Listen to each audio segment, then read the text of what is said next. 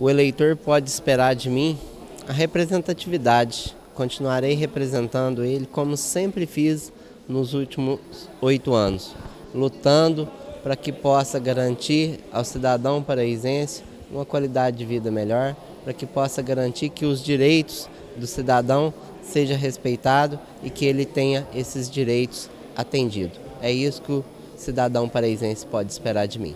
Eu acredito que está sendo resgatado é, o respeito e a admiração pelo trabalho dos vereadores. Os vereadores fizeram um trabalho correto, sério, de forma a atender o cidadão, de forma a fiscalizar os atos do Poder Executivo, cuidar do dinheiro que é de contribuição dos impostos que o cidadão contribui.